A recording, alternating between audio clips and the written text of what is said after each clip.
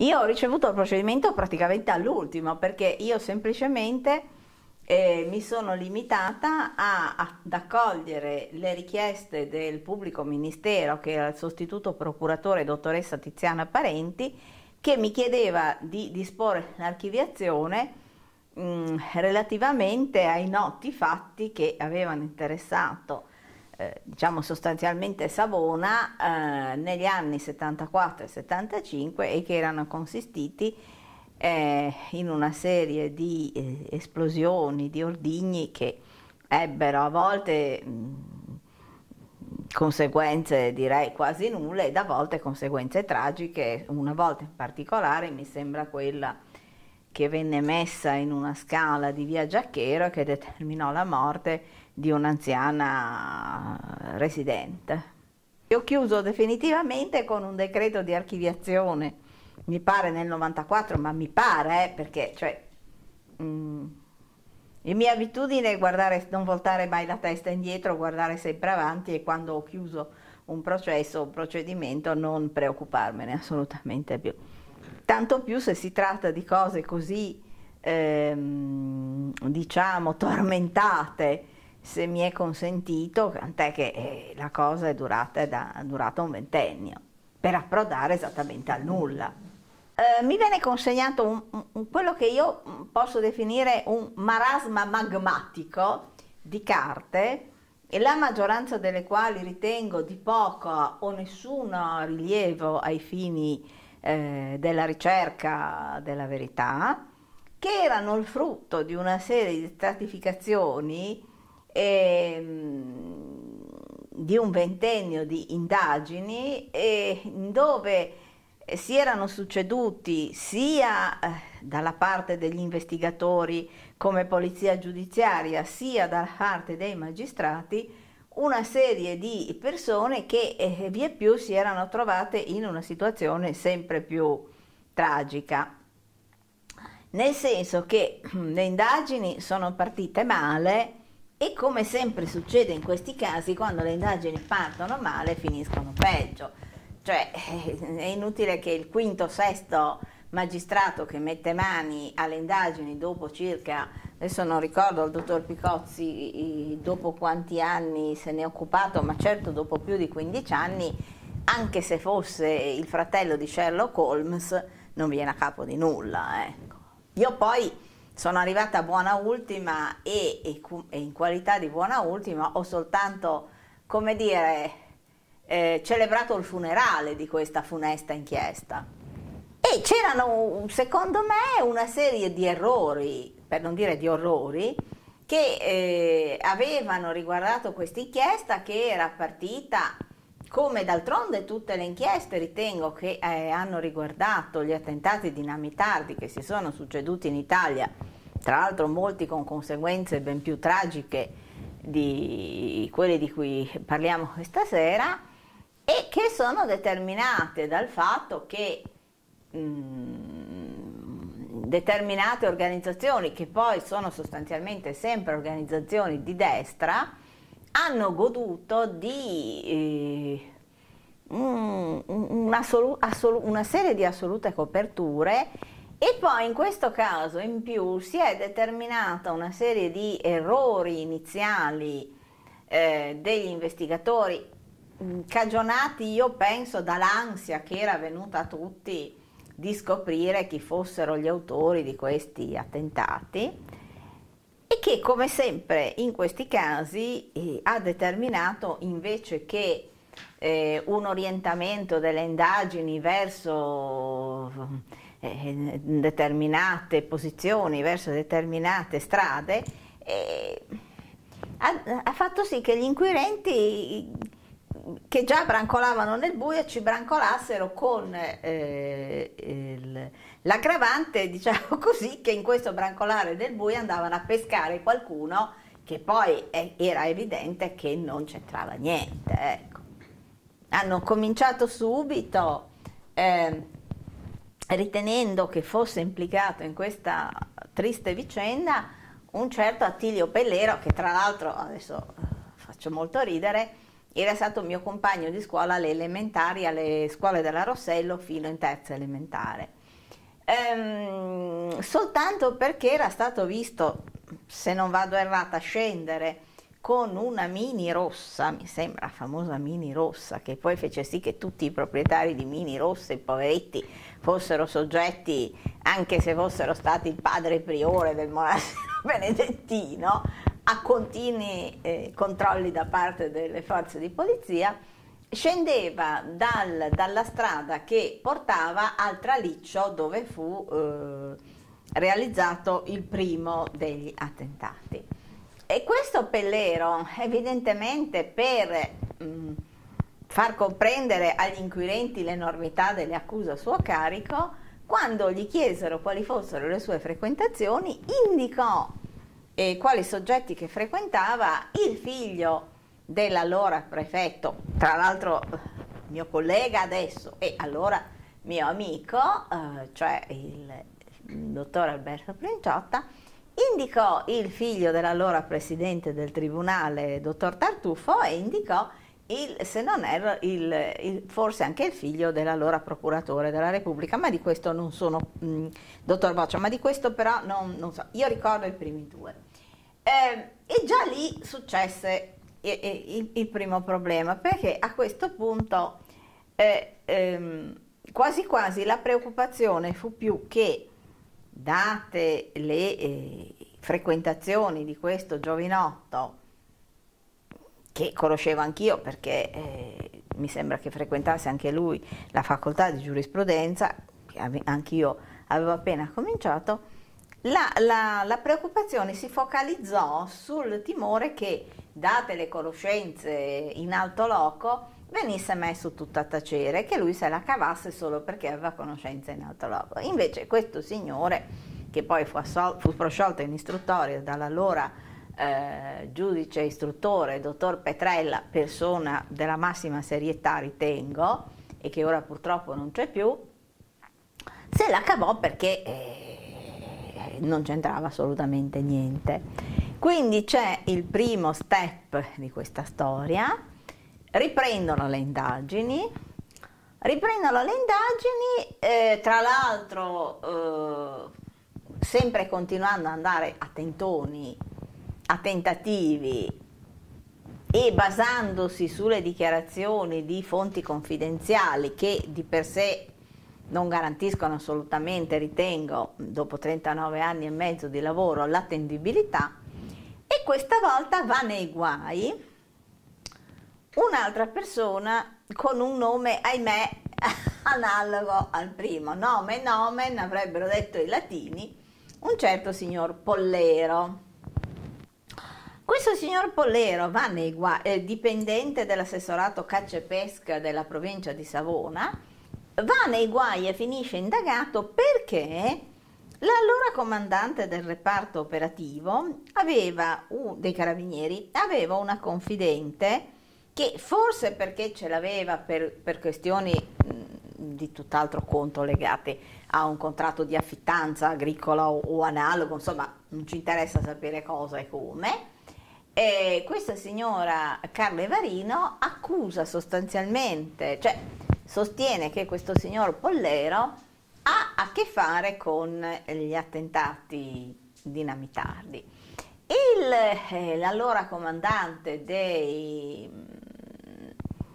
del reparto operativo dei carabinieri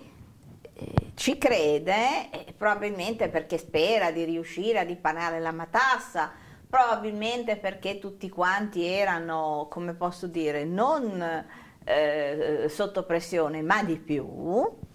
e eh, fa, scrive questo rapporto che eh, è lungo, aspetti, non mi ricordo quante pagine, 55 pagine, e che francamente è, eh, contiene una serie di, di cose, eh, di notizie eh, abbastanza confusio, confuse, confusionarie e di scarso interesse. Va da sé peraltro che essendo quella la nuova pista sulla quale gli inquirenti si buttano sempre sperando che eh, succeda qualcosa, il signor Pollero si trova indagato eh, per crimini non di poco conto, sospeso dal suo lavoro all'assessorato provinciale e credo, ma anche qui siamo nel 1985-86, quindi io eh, non ero ancora arrivata a Savona, io a Savona sono arrivata nell'87 e, eh, e non mi sono occupata di questa cosa. Mm, quindi viene sospeso dal lavoro, eh, gli viene dato soltanto l'assegno alimentare che viene eh, concesso in questi casi e durerà non poca fatica a liberarsi dalla nomea di dinamitarlo, che anche lui ovviamente non meritava. Non meritava perché anche lui c'entrava come c'entravo io, cioè voglio dire, se io fossi passata di lì probabilmente avrebbero detto che dinamitarlo potevo essere io. Eh. Mm, nel frattempo che cosa succede? Che per migliorare la situazione eh, vengono rinvenuti, nel frattempo erano stati rinvenuti dei quantitativi di... Ehm, eh, scusate, sono un po' stanca, dei quantitativi di esplosivo da cava, esplosivo che viene usato nella cava e che erano compatibili con quelli usati. L'esplosivo da cava è abbastanza affidabile ovviamente perché viene usato proprio per fare lavori nella, casa e, nella cava e consentire ai eh, lavoratori di allontanarsi il tanto che basta per scongiurare i problemi. Peccato che poi ad un certo punto del procedimento, non ricordo perché ripeto non ero io eh, il titolare, questo esplosivo viene fatto brillantemente brillare, scusate eh, il gioco di parole, e quindi non ne abbiamo più per fare le, gli eventuali eh, confronti fra eh, quello usato per determinati attentati e quello che era stato rinvenuto in un determinato posto. Perché essendo stato fatto brillare eh, chi si è visto si è visto. Probabilmente è stata data l'autorizzazione da non so chi perché io non, non questa storia l'ho saputa, diciamo, se, secondo me forse quasi un decennio dopo, qualcuno aveva improvvidamente dato l'autorizzazione a far brillare perché ovviamente tenere del, mh, eh, come corpo di reato, tenere del, eh, dell'esplosivo non è che sia una cosa facciamoci due risate, teniamoci l'esplosivo, cioè vabbè di solito va acquartierato presso una casamatta dell'esercito e lì tenuto a disposizione, però costituisce un problema. Allora, nella fretta di risolvere i problemi e preso atto che tanto non si veniva a capo di niente, facciamo l'esplosivo e chi ha avuto ha avuto, ha avuto eccetera. Uh, per vero, e nessuno si preoccupa del fatto che un noto terrorista eh, di destra che mh, mm, aveva avuto, uh, uh, mi, mi, sembra, però anche qua io non avendo più il provvedimento definitivo, vado veramente eh, eh, a ricordi, non, non, ricordo il nome di questa persona, avendo avuto mm, probabilmente una misura di prevenzione, era venuto a lavorare in quel periodo, nel periodo di interesse, era venuto a lavorare, mi sembra, in un ristorante della Riviera ma nessuno di questa, di questa, cosa dà conto perché è troppo impegnato a correre dietro al ragazzino di buona famiglia e poi al dipendente della provincia. Se ne accorgerà, se non vado errato, il, proprio il dottor Picozzi, nel frattempo il dottor Petrella emette la prima sentenza di allora la sentenza di proscioglimento istruttorio nei confronti di Pellero, Attilio e Viene indagato il eh, signor Pollero, ma il signor Pollero che resterà indagato fino a, mi sembra, il mio decreto di archiviazione, assolutamente non c'entrava, e, e, il dottor Picozzi a, a anni e anni di distanza prova a fare qualche, addirittura mi sembra che si fosse recato in Spagna, nell'ambito di una rogatoria proprio per sentire persone legate alla destra eversiva. Ma ovviamente a distanza di 15 anni dai fatti non cava più un ragno dal buco e mm, voglio dire, in questi casi, salvo un tardivo pentimento molto romanzesco del, dell'autore del fatto sul letto di morte che per scaricarsi la coscienza dice sono stato io, confessione che comunque richiederebbe eh, i riscontri, noi non ne veniamo a capo. Quindi eh, alla fine di tutta la favola eh, senza che io abbia mai partecipato alle indagini e dopo che tra l'altro è entrato in vigore il nuovo codice di procedura penale nell'89, diciamo che eh, il, la conduzione stessa delle indagini era cambiata perché non c'è più la figura del giudice istruttore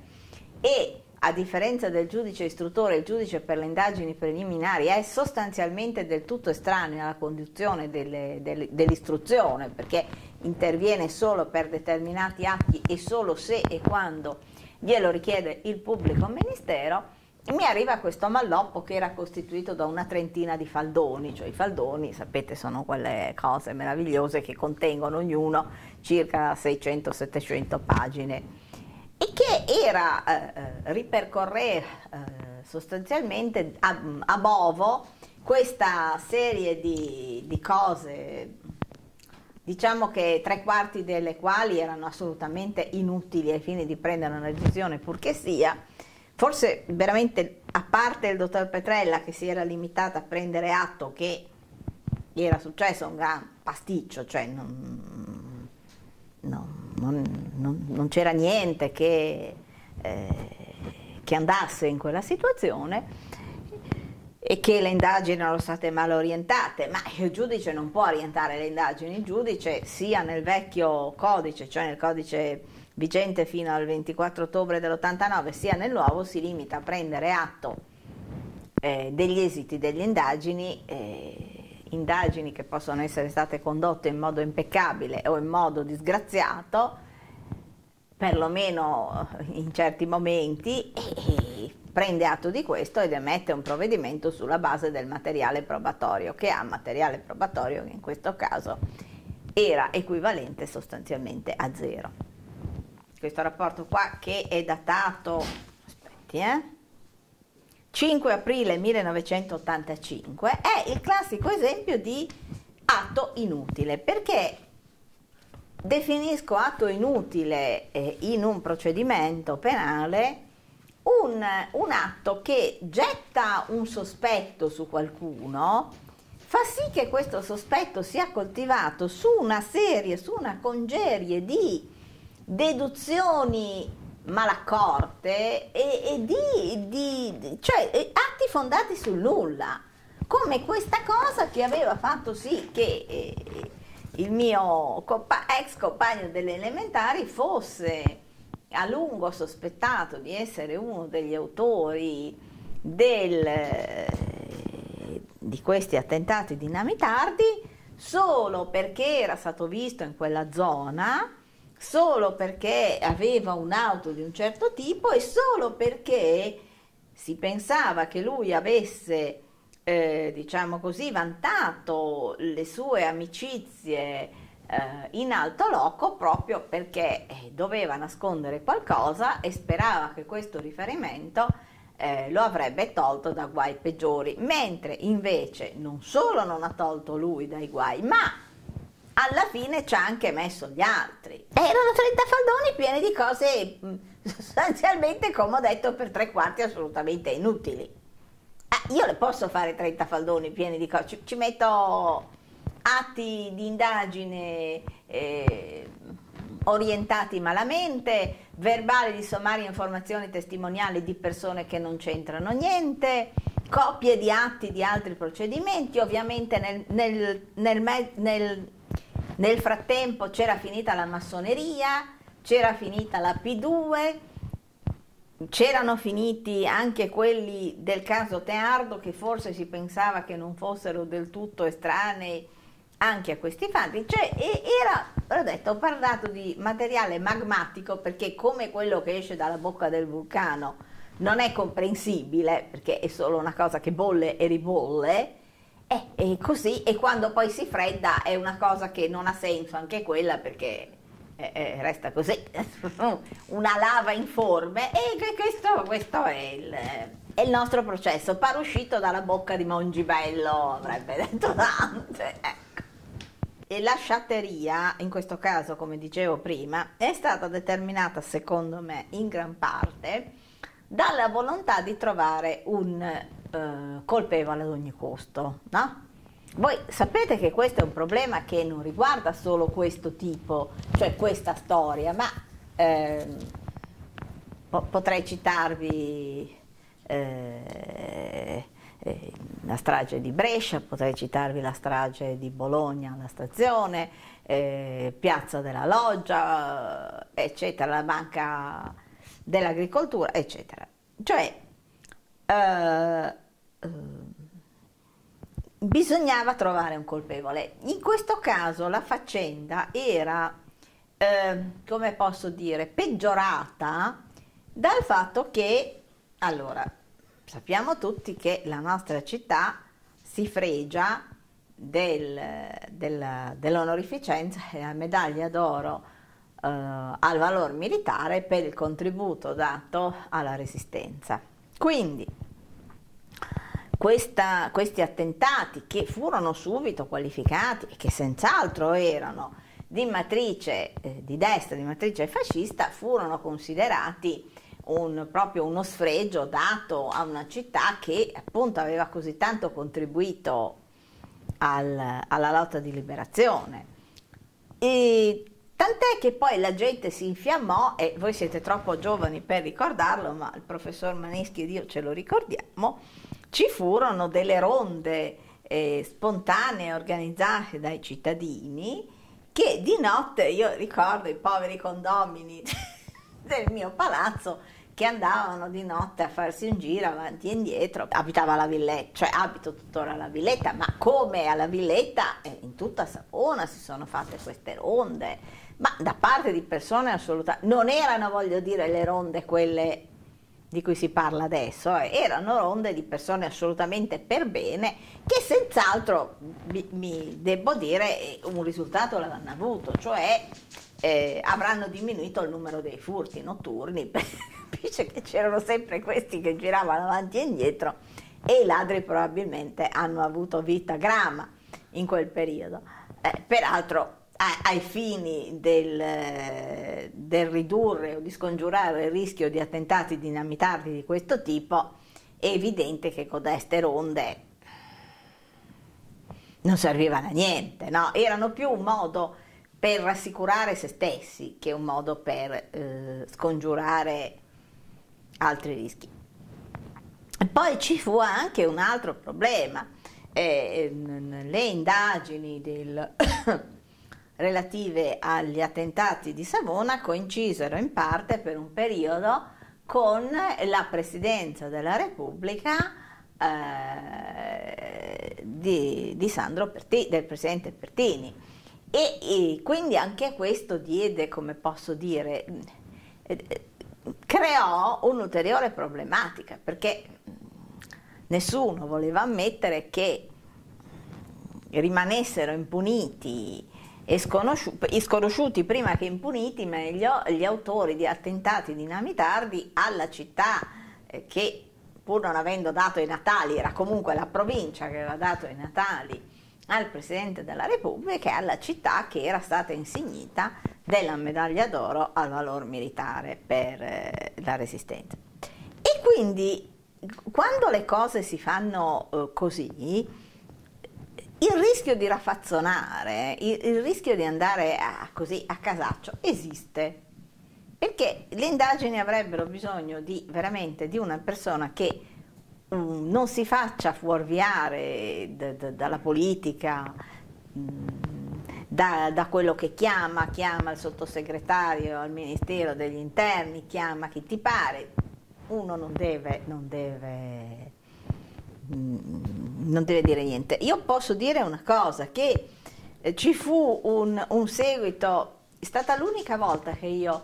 ho eh, risposto sul giornale, perché io quando sul giornale le mie decisioni vengono criticate di solito tiro dritto perché voglio dire non, non credo che mi debba preoccupare se a qualcuno che, che, scrive sul giornale le mie decisioni piacciono o non piacciono, sono decisioni che io prendo secondo gli atti che ho davanti. Successe che subito dopo il eh, che appunto uscì col decreto di archiviazione, Il dottor De Michele Del Gaudio, che era stato giudice istruttore a Savona, che aveva avuto il merito di avere imbastito eh, insieme con il, con il, collega Granero noto, gli atti di istruzione del noto processo Teardo, andò a parlare ai ragazzi del liceo classico e mh, si lamentò del fatto che eh, appunto che il, il procedimento contro, a quel momento, a, contro ignoti relativo agli attentati dinamitardi di Savona eh, fosse stato concluso con un decreto di archiviazione dicendo che tutti i savonesi aspettavano la verità e che la verità andava trovata a ogni costo e che il colpevole doveva uscire fuori. E io ricordo che risposi che eh, l'ultimo giudice che nel prendere una decisione, o meglio l'ultimo noto, si era fatto sopraffare dalla volontà popolare e non dalla sua coscienza e da quello che aveva davanti, era tal Ponzio Pilato, mm, da cui memoria non mi sembra sia meritevole di particolare, come posso dire, eh, particolare esaltazione perché presa una decisione determinata solo dal terrore che gli scoppiasse una rivolta tra le mani. Quindi chi fa il mio mestiere di queste cose non si deve assolutamente occupare. Il decreto di archiviazione è di più di vent'anni fa, che io nel frattempo mi sono occupata di un numero infinito, potremmo usare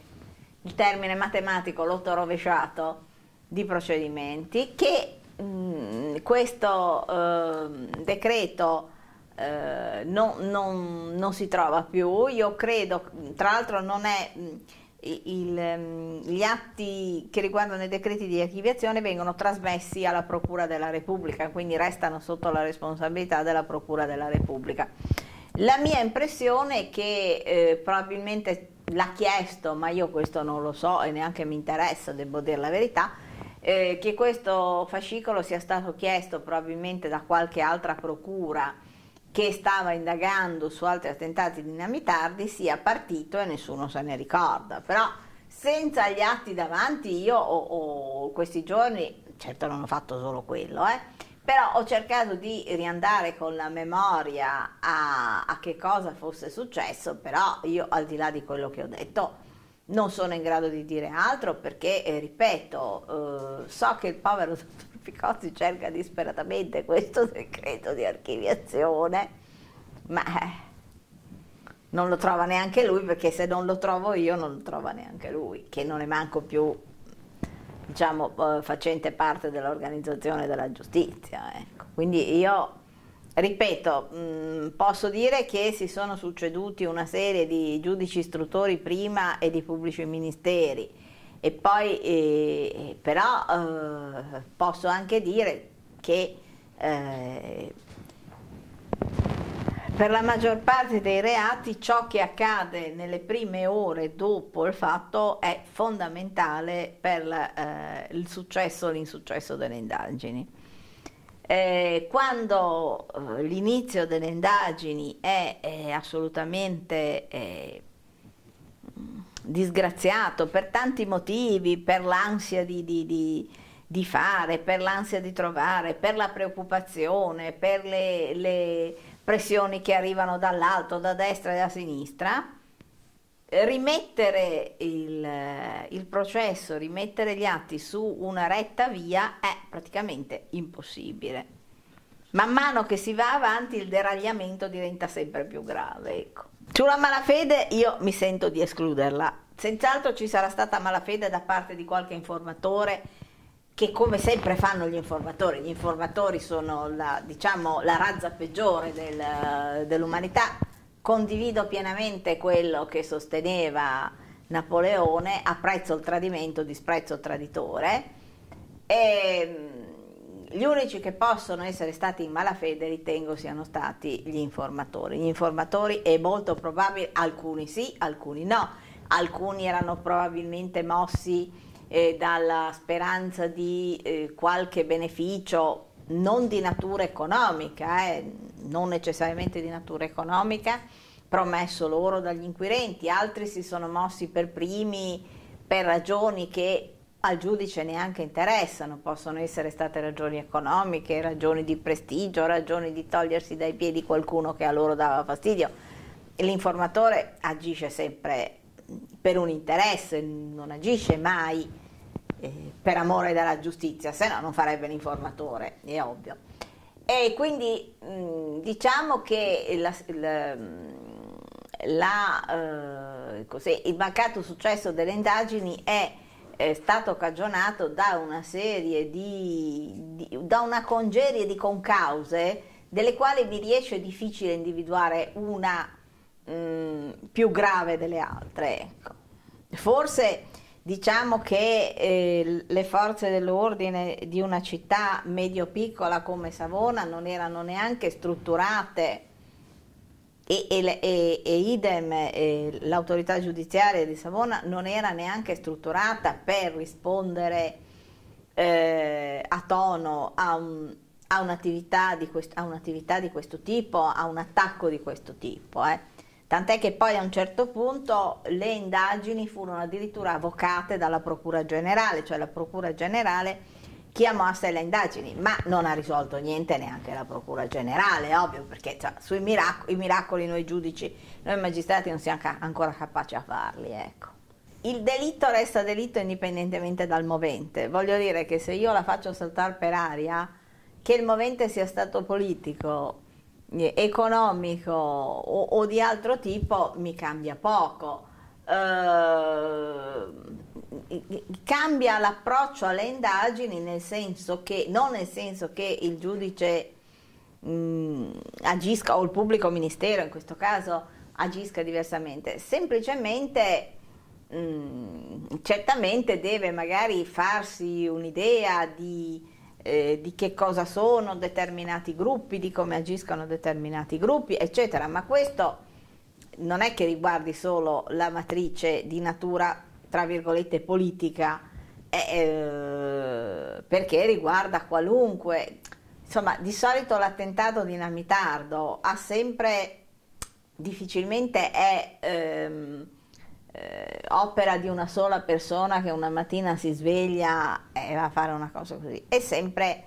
legato a un gruppo cioè la scelta di un soggetto che però agisce in nome e per conto di qualcun altro. E questo riguarda sia gli attentati di matrice, tra virgolette, mafiosa, nel senso di attentati a scopo di estorsione, ne, ne, mi sto occupando di uno adesso che ha cercato di eh, far saltare per aria un, un ortofrutta e non ci è riuscito perché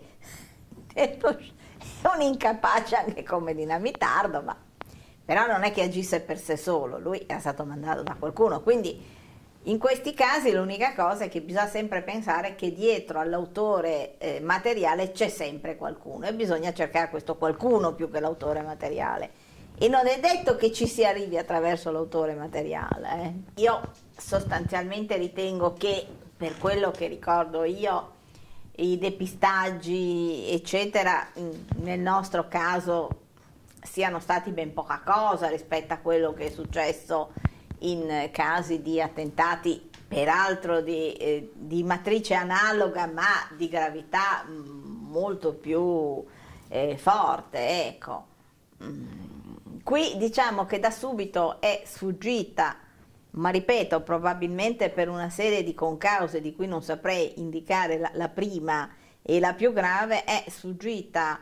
agli investigatori eh, eh il, la matrice, cioè sì, di destra, bombe nere, ma è sfuggito chi poteva essere fra tutte le, le, le, cellule, fra tutte le organizzazioni di destra. Ricordate che c'erano una serie di sigle, come del resto per le Brigate Rosse, in app, qui, eh? e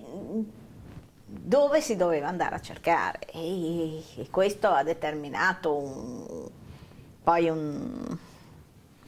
un deragliamento che non, non si è mai più ripreso. Ecco. Il processo non si trova, ma io le dico subito che io eh, do due, due possibilità. O non si trova perché effettivamente io poi dopo l'archiviazione non mi sono più assolutamente occupata perché non mi interessava proprio più, io ho finita una cosa, non ci torno a pensare, non è che sto tutta la sera a pensare, oddio adesso... È probabile secondo me che sia finito, eh, cioè sia stato chiesto da qualche altra procura della Repubblica e, e, e gliel'hanno invia- inviato, dato che il numero di copie da fare era immenso, gli atti erano stati archiviati e non avevano più rilievo sia stato mandato in originale, cosa che è già successa in altre cose, ma magari erano 100 pagine, per cui poi uno eh, si tiene il coso e dice, ah ma e questo qua dov'è il fascicolo? Eh, me l'ho mandato a cosa? Se lo faccio rimandare, chissà dove è finito, oppure nel nostro, mm, siccome c'è stata una cesura da, dai fascicoli vecchio rito ai fascicoli nuovo rito, cioè fascicoli cominciati sotto il, eh, la vigenza del codice de, che è stato in vigore fino al 1989 e fascicoli iniziati dopo la vigenza del nuovo codice, è molto probabile, anzi che io non è che non ho molta voglia, detta brutalmente, di scendere negli archivi del tribunale, di mettermi fisicamente a cercare questa cosa che secondo me cioè tranquillamente, perché guardi, io le posso dire che 39 anni e mezzo di carriera non si è mai perso in penale, tanto così, cioè sembra perso, ma poi alla fine si trova, ecco. Solo che devo dire, devo essere molto franca, se io cerco qualcosa che è di interesse eh, processuale, cioè che può servire eh, per, per, un determinato processo, e eh, vabbè, eh, mi è già successo di scendere con gli uscieri e di andarla a cercare. Se devo cercare una cosa che non mi porta da nessuna parte, eh beh, francamente io a farmi venire un attacco di allergia perché ce l'ho e eh, in mezzo alla polvere, sono molto chiara, non ci vado. Tanto più che, ripeto, archiviati gli atti, gli atti vengono poi restituiti al pubblico ministero, quindi il mio ufficio non c'entra assolutamente niente. Io so perché ho l'attestazione che gli atti sono stati restituiti alla Procura della Repubblica Dopodiché, tra l'altro, altra cosa, a quei tempi c'erano i registri cartacei, mentre adesso ci sono i, i registri informatici. I registri cartacei ci sono e l'ultima annotazione mi sembra proprio che dica atti restituiti alla Procura della Repubblica, dopodiché per me quel fascicolo lì ha cessato di esistere, è andato nel mondo dei morti e per me ci può anche rimanere. Eh. Il GIP in questa fase, nella fase dell'archiviazione, non interroga nessuno. Ha solo, cioè sostanzialmente funziona così, se il pubblico ministero richiede, ritiene di chiedere l'archiviazione, vuol dire che non pensa che ci siano piste investigative percorribili, vuol dire che non ritiene che ci siano atti istruttori da fare e quindi prende tutta la documentazione, fa una richiesta di archiviazione, in questo caso era bella spessa, e la manda al giudice per le indagini preliminari. Il giudice per le indagini preliminari a questo punto ha solo eh, un'alternativa, o condivide eh, le conclusioni del pubblico ministero che non vi siano più eh, piste eh, percorribili, che non ci siano più atti istruttori che siano utili a dare al procedimento una definizione diversa o a giustificare la prosecuzione del procedimento e quindi archivia, Oppure se ritiene che invece ci siano ancora atti istruttori possibili per arrivare comunque a una qualche verità o provare di arrivarci, rigetta eh, il, la richiesta di archiviazione, indica al pubblico ministero quali sono gli atti istruttori eh, secondo lui ancora necessari e restituisce gli atti al pubblico ministero. Io ho ritenuto che ormai, voglio dire, i morti putrefatti vanno seppelliti eh, poi, perché tenerli fuori non serve molto. E la verità giudiziaria che non è la verità reale, eh, questo è cosa notoria, ma vale anche per il furto di una mela, eh, eh non... la verità giudiziaria è che non sono stati individuati i colpevoli. Eh, eh, dunque, sono passati dal 74, io andavo appena all'università, e perché io mi sono diplomata nel 73, Adesso l'anno prossimo vado in pensione e io direi che, come dice Marcantonio, diciamo, sono venuta a seppellire Cesare, ecco, io sono venuta a seppellire questa cosa qua anche perché è quasi certo che gli autori della faccenda, ammesso e non concesso, siano probabilmente a loro volta morti, presumibilmente di morte naturale. Eh. E quindi cioè,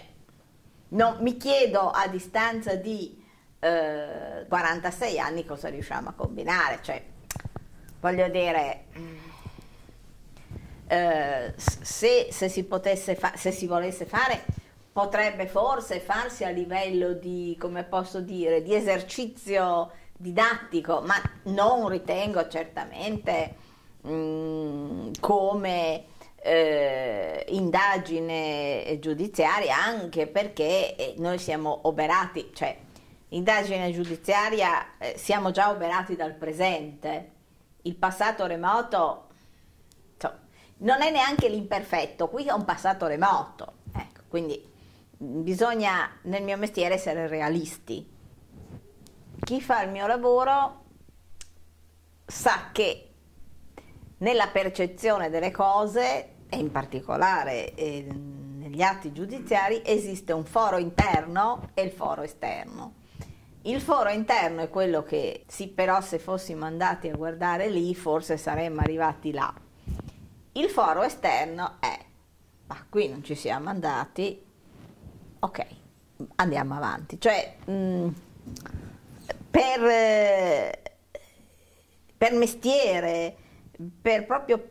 viene poi come una seconda natura di non porsi mai la domanda, sì però se lì invece che andare a destra fossimo andati a sinistra, forse qui saremmo arrivati a qualcosa. Quindi anche se l'avessi pensato, mm, no, non, direi che questa cosa non è neanche arrivata a livello del mio pensiero conscio, ecco, è un problema che il giudice non si pone.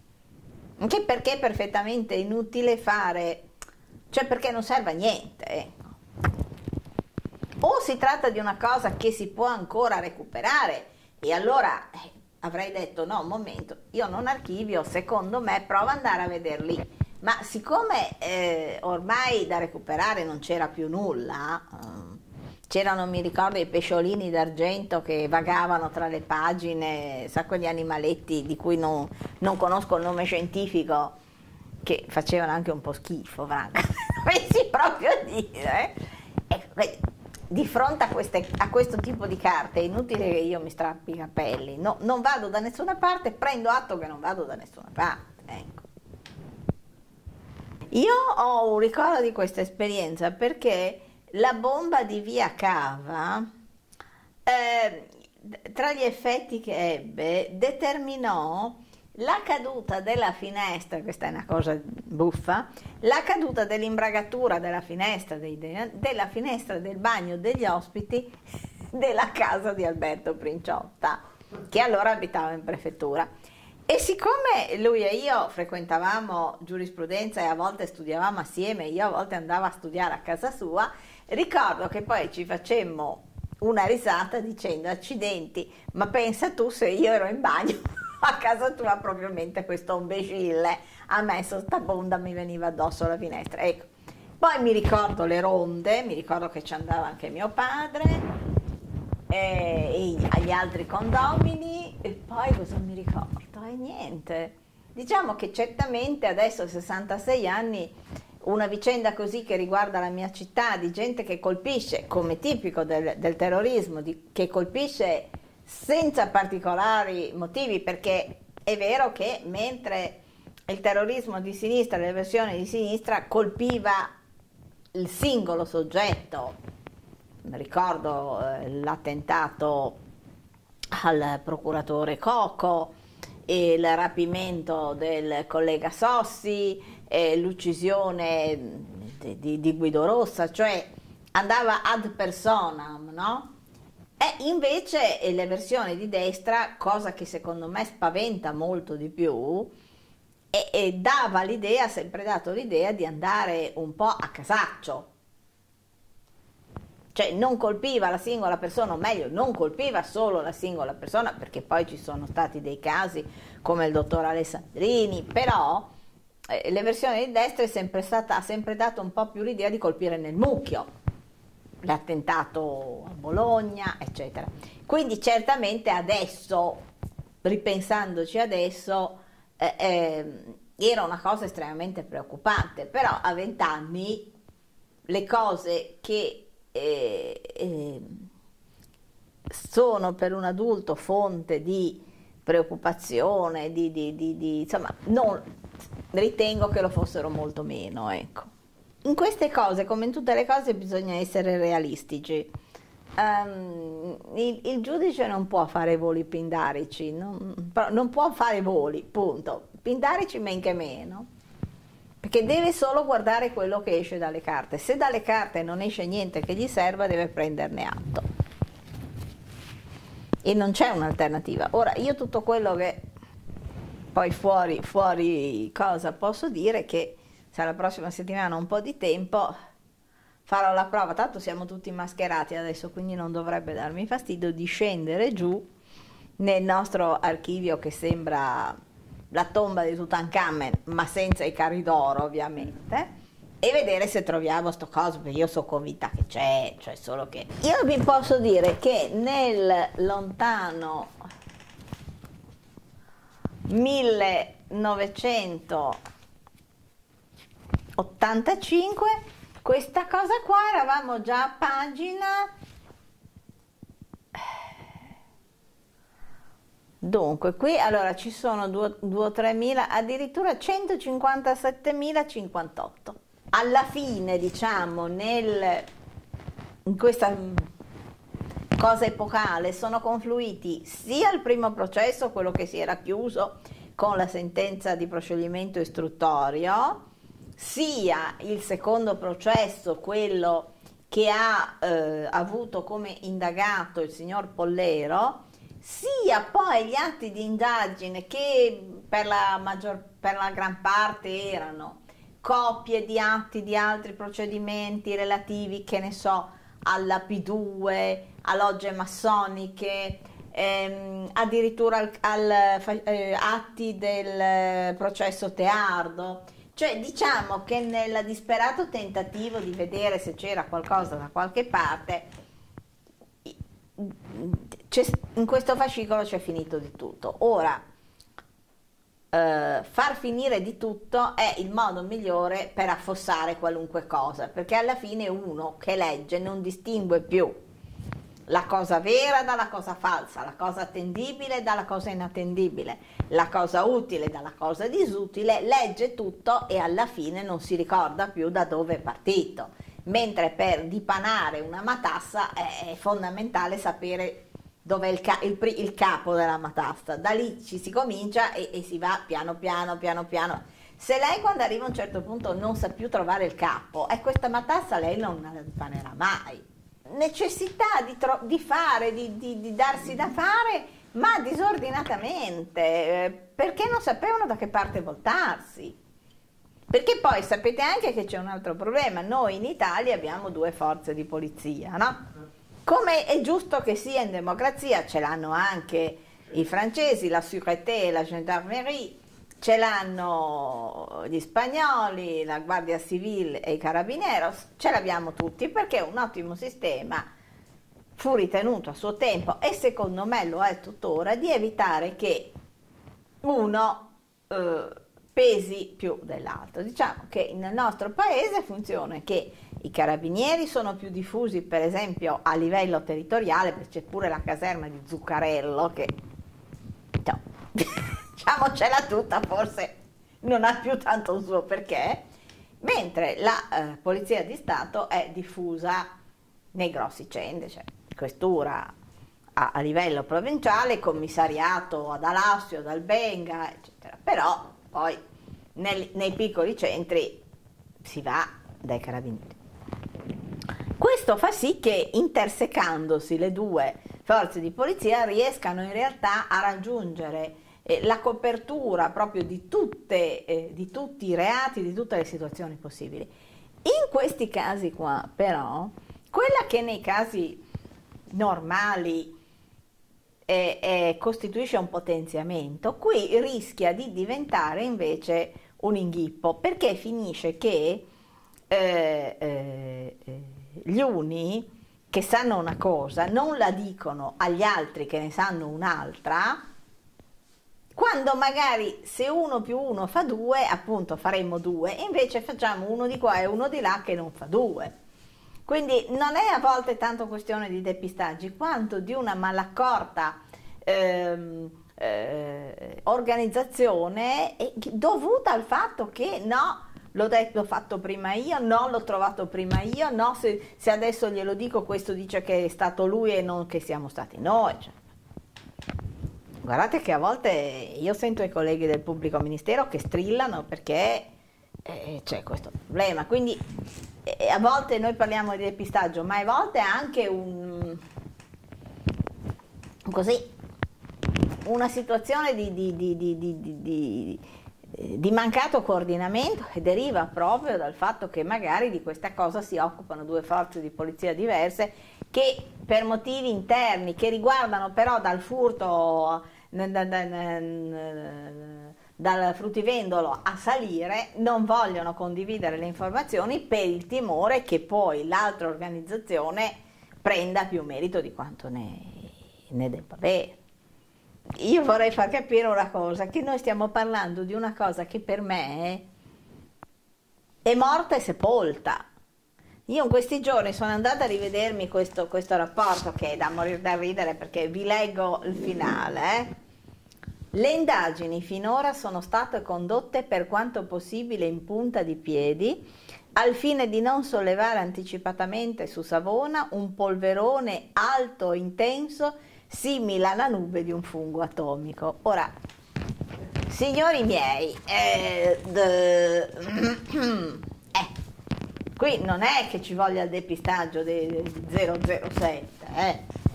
è perfettamente inutile. Noi avevamo forze di polizia di un certo tipo, adesso le abbiamo di un altro tipo. Lei pensi che adesso i marescialli dei carabinieri devono essere laureati? Io conosco uh,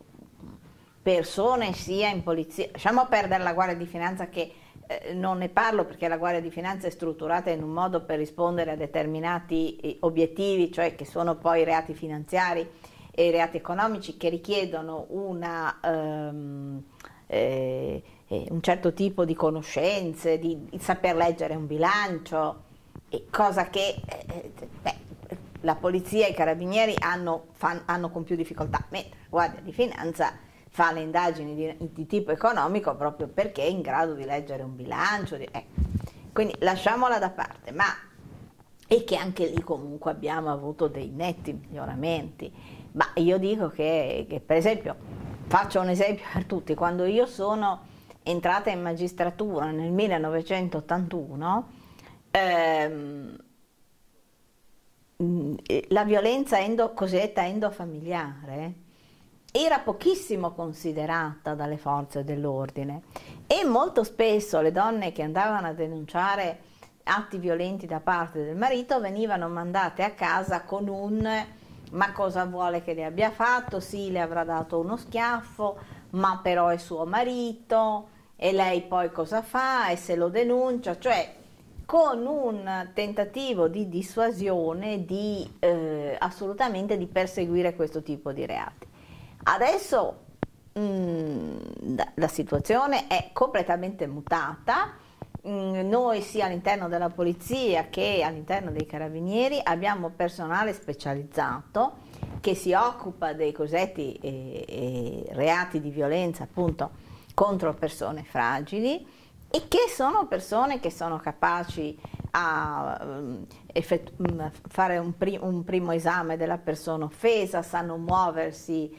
con i servizi sociali, agiscono nell'ambito di una rete che appunto eh, si rivolge anche ai servizi sociali, all'ASL, alle associazioni eh, che si occupano di violenza di genere, ecco, quindi è cambiato completamente tutto. E, e, e quindi anche nell'ambito di indagini di questo tipo è cambiato completamente tutto. Poi eh, abbiamo una serie di eh, attività di, di, indagini scientifiche che in allora non erano neanche pensabili. Ecco.